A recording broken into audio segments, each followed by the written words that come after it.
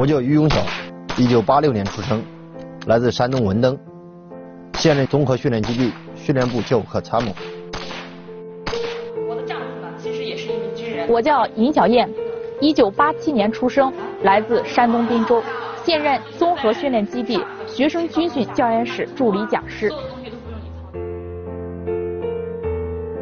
毕业将近八年，八年虽然不长，但这八年的经历，让我逐渐明白“军人”这两个字的意义所在，让我的人生充满了张力与韧劲。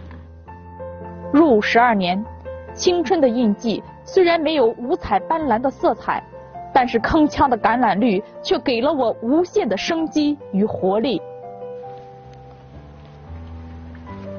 因为事业上的共同追求，我们从相遇到相知；因为事业上的相互帮扶与支持，我们从相知到相爱；因为爱情的力量，我们前进的征途上有了无穷的动力；因为家庭的温暖，让我们在拼搏的路上不再孤独。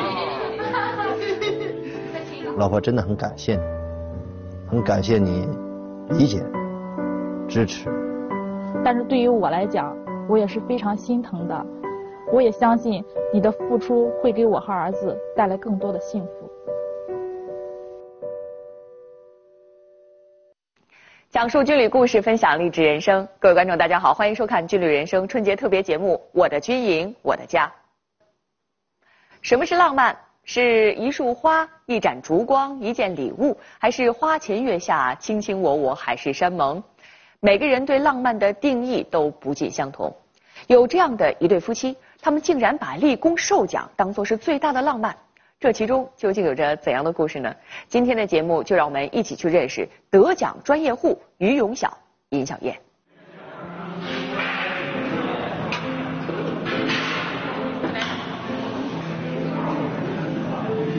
在单位食堂，我们第一次见到了主人公于永晓和尹小燕夫妻。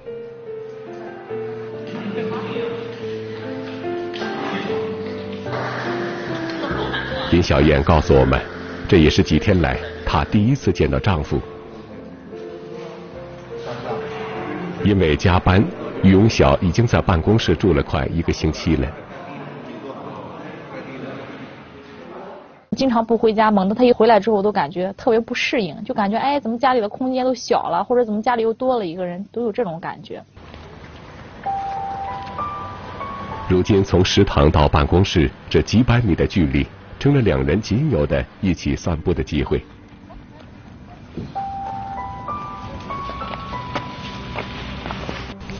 于永晓是教务科参谋，尹小燕是教研室讲师。只不过相隔了一栋办公楼，夫妻二人却仿佛过上了异地般的生活，这是他们当初怎么都没有想到的。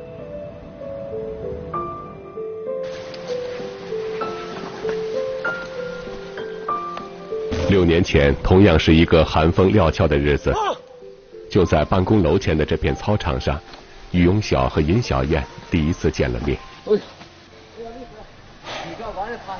我那时候我是负责整个新兵团的整体的个阅兵的整个进程的把控，他负责女兵连的，他是这个方队的领队的。从工作上，然后把我给打动了，就是因为他对工作特别负责任，尤其是自己有一股拼劲儿吧。他这个责任心特别的强，就这个事情交代给他，你不用你去操任何心。完了之后，尤其是做示范动作的时候，那一刻挺帅的。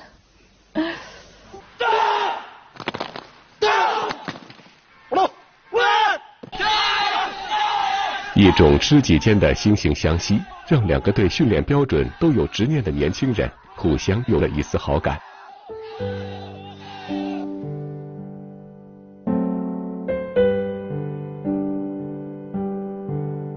三个月新训结束后，尹小燕带着女兵回到了外地的部队，两个人也正式开始了异地恋的生活。尤其是两个人在不同的地方担任的职务是一样的，都是任指导员嘛。再加上生活上面一些交叉、一些小的细节，呃，相互的帮助、相互的支持，嗯，最后我们是悄无声息的，嗯，相知吧。嗯，接下来的几年里，尹小燕都主动申请到训练基地带新兵，为的就是能和于永晓多见上一面。带新兵的确是特别累，特别操心。但是后来我想一想，只有这种原因，我们才能就是见面的机会多一点。二零一一年的冬天，也就是两个人认识的第三个年头，那年除夕，尹小燕替新兵值了一晚上的夜班，而于永晓就在旁边陪着站了一整夜的岗。他可能就是说没有其他那种男人的那种浪漫，然后也没有更多的甜言蜜蜜语，但是他是一个很用心的人。就在那个大雪纷飞的除夕夜里，两人互相许下了一辈子的承诺。一年后，当尹小燕再次申请带新兵来基地训练的时候，她向领导提出了一个请求。后来我就给嗯领导说，能不能就是说我把这批新兵训好，然后如果我训好了，你可以把我留下；如果训不好的话，我就可以自觉再回去。上级首长说，这个好好干工作就行，只要最后这个阅兵搞得很好啊，新兵训练搞得很扎实，最后我们就给你解决生活上的问题啊，把你调回来。尹小燕的决定让于永晓很是感动。这次赌上两人共同未来的挑战，他们决定拼尽全力一试。然后他就在北边训护旗方队，我就在南边训女兵连。怎么说呢？有一种信念在里面吧。因为偶尔的训练间隙，我们可以有眼神的交流。我感觉最浪漫的事情就是我们这个带兵的时候擦肩而过，那是最浪漫，彼此一个眼神交流。然后他带着队伍往那走，我带着队伍往这走。嗯。寒冬腊月的训练场上，两人之间的每一个眼神都充满着幸福的味道，每一个微笑都牵动着彼此的心。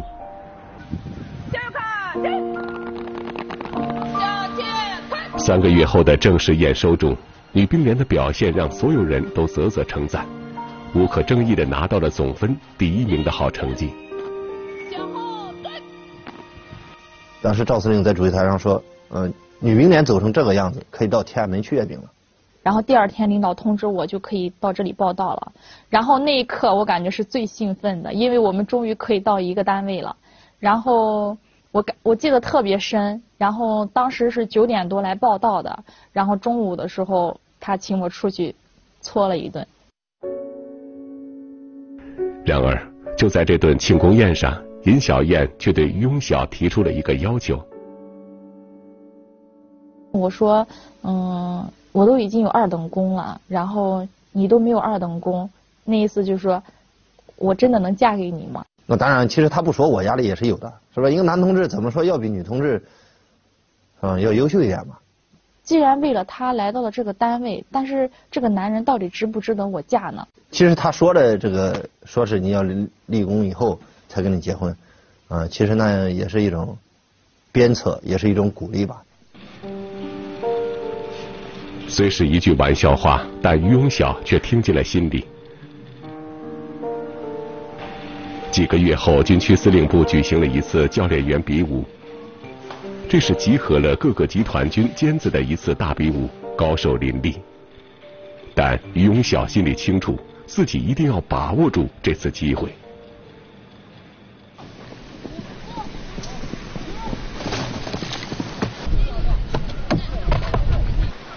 我记得在比武的那天，下午跑完三公里以后，紧接着就是发烧感冒。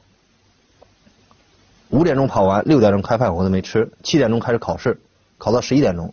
这期间一直这个过程一直都一直都是感冒发烧的状态，靠意志支撑。那时候只能靠意志了。那些天里，于永晓好像忽然失去了联系。当他再一次出现在尹小燕面前的时候，同时带回来的。还有一个二等功奖章。说实话，那一刻真心的感觉到要嫁给这个男人，因为他能够把你自己的虽然说是你的一个小小的想法或者一句玩笑话，他却一直放在心里，永不停息的去拼搏。二零一二年，于永晓和尹小燕终于收获了属于他们的幸福。然而，两人都没有想到，费尽心思才结束的异地生活，如今才只是刚刚开始。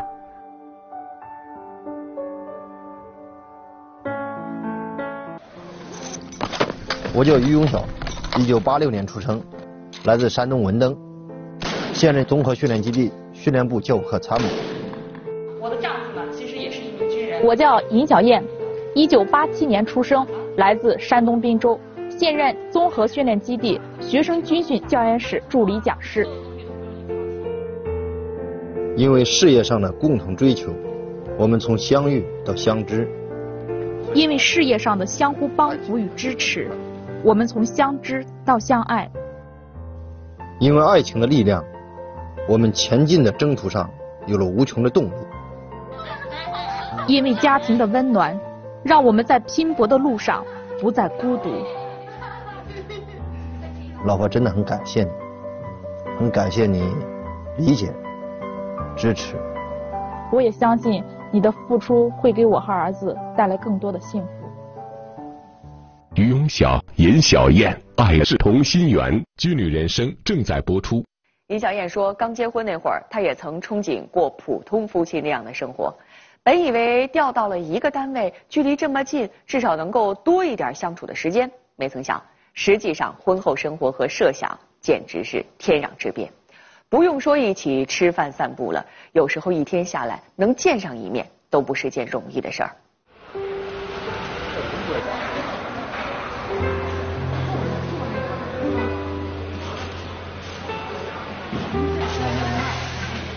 周末回家吃一顿饭，这是夫妻俩之间的一个约定。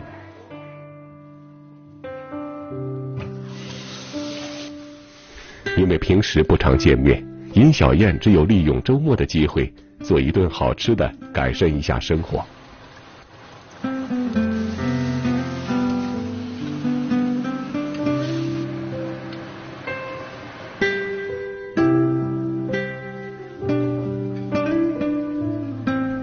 然而，只要于永晓一忙碌起来，失约的事情还是时常会发生。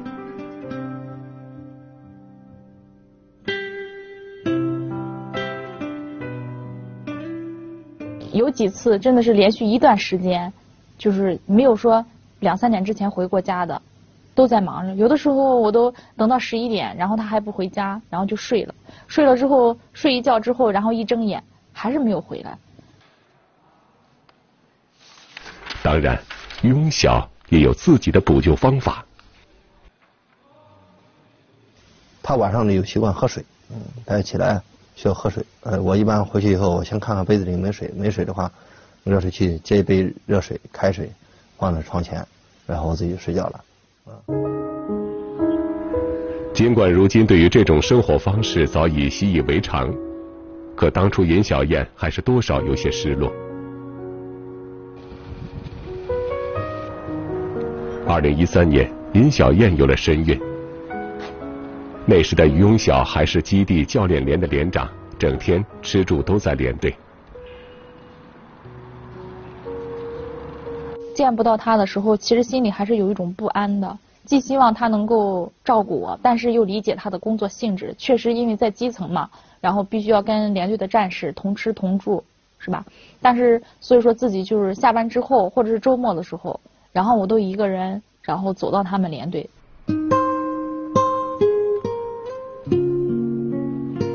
连队的火热气氛让尹小燕看到了丈夫的不容易，更让她想起了自己当初带兵时的那份激情。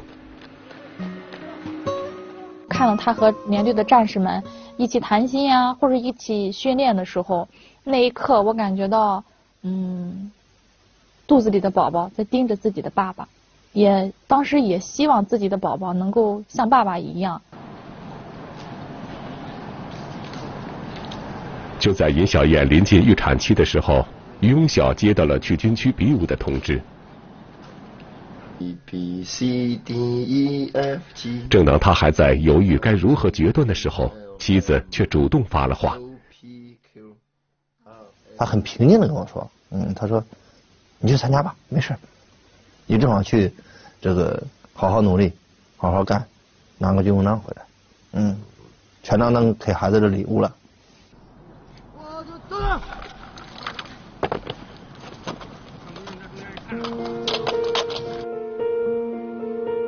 就这样，于永晓带着妻子的嘱托，开始全心备战。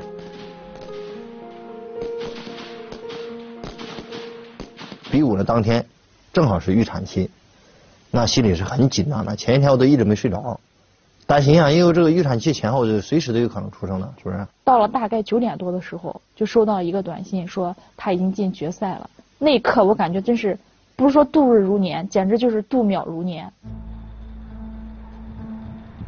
比武的最后一项是夜间射击，这也是不确定性最大的一个科目。这时候我的我的这种自信，呃，全部都上来了。我那时候就想，我背后有这么多人在支持我，我的家庭都在支持我，都在期盼我，我肯定要把你 PK 掉。随着最后一个精准的十环。于永晓以总分第一名的成绩获得了金牌，再次荣立二等功一次。回来的时候带着小花绣了个，把这个军功章绣了一个心字，用花组成的心字。嗯，我回来的时候他已经睡着了，嗯，已经是晚上了那时候，嗯，我就把他心字放在他枕头旁边，嗯，希望他能够早晨一醒来就能够看到。好像有心灵感应一般，于永晓回来的第二天，儿子。便顺利出生了。孩子一出生就睁眼，一直看着我，好像跟我认识似的。我那时候感觉，哎呦，真好，嗯，当父亲了，嗯，这应该是一种，嗯，最大的爱，最大的褒奖吧，啊。这几个呢，全都是立功的证书，然后这三个呢，都是他立的二等功。然后这个呢，是我在四个二等功，四个三等功。如今夫妻二人的证书奖状已经攒了整整一个箱子，可谓是名副其实的立功专业户。对于我们两个来讲，我感觉到从我们相知到相识，一直到现在相爱，一直到有了我们的孩子，我感觉到，嗯，奖章或者是荣誉，对我们来讲可能是爱情里面的一个见证吧。一个阶段有一个追求，嗯，那个。自己付出了，嗯，努力了，就会有有所回报了。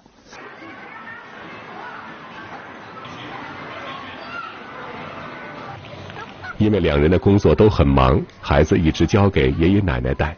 如今已经快两岁的孩子和父母并不是很亲近。整个今年一年的时间，想着等他一起的时候，我们可以照张全家福。一直到了现在，我们都没有。陪宝宝照一周岁的照片，其实我感觉这件事情真的是很遗憾的。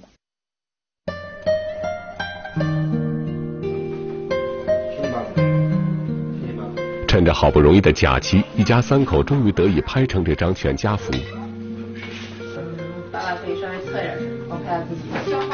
尽管已经迟到了快一年，但是三人依然是兴致不减，因为在他们看来。每一次相聚都值得珍惜，而珍惜现在拥有的，就是最大的幸福。值此新春佳节到来之际，我们一家人祝全国人民新春快乐，身体健康，万事如意。生命只有在撞击中，才能常来不败。很多人都问过于永晓和尹小燕，为什么他们这么在乎荣誉？为什么要一直这么拼命？面对这样的问题，两口子常常是默契的相视一笑。他们说，如今两人在乎的早已经不是荣誉本身，而是获得荣誉的过程。在他们看来，生活可以是甜的，可以是苦的，但不能是没有味道的。每一天都充满挑战和坚持，才能让他们真实的感受到生活，感受到他们存在的意义。好了，今天的节目就是这样。预知更多最新军事动态，请访问屏幕提示网址，登录中国军事网。你也可以通过扫描屏幕下方的二维码，下载中国军事网 APP，关注“军旅人生”微信公众平台。明天同一时间，吴亚磊和吴思颖将会告诉您双军恋到底是个什么滋味。感谢您收看今天的节目，再见。一半是甜蜜温馨的浪漫时光，一半是艰难时刻的相依相守。他们用理解书写天下无双的幸福。一次充满挑战的特种射手集训，一次比武场上的蜜月对决，他们用支持点亮彼此身上的光芒。军旅人生下期为您讲述吴亚磊、吴思颖，我们的爱天下无双。